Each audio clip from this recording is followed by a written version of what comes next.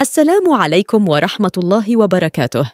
قرار استعجالي من جمال بالماضي يرد بقوة على الاتحاد الجزائري بعد تلقيه إشعارا من الفاف يصدم به وليد صادي وهذا ما قاله. لكن قبل البداية في التفاصيل نرجو منكم الإعجاب بالفيديو والاشتراك في القناة وتفعيل الجرس ليصلكم منا كل جديد. إذا كشفت مصادر خاصة من موقع وين وين أن المدرب جمال بالماضي رد على الاتحاد الجزائري لكرة القدم بعد تلقيه إشعارا من الفاف بشأن غيابه عن الاجتماع الذي كان مبرمجا بين الطرفين. وكان الاتحاد الجزائري الفاف أرسل إشعارا للمدرب بالماضي يعتبره فيه مستقيلا من منصبه بسبب عدم حضوره جلسة للتفاوض حول فسخ العقد.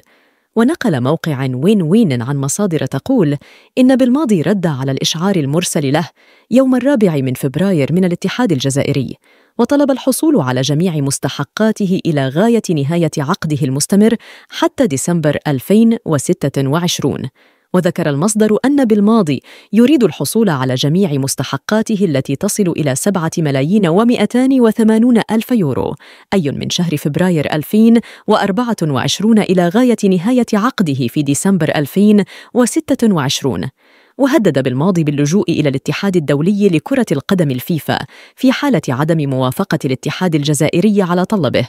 شاركونا بآرائكم في التعليقات.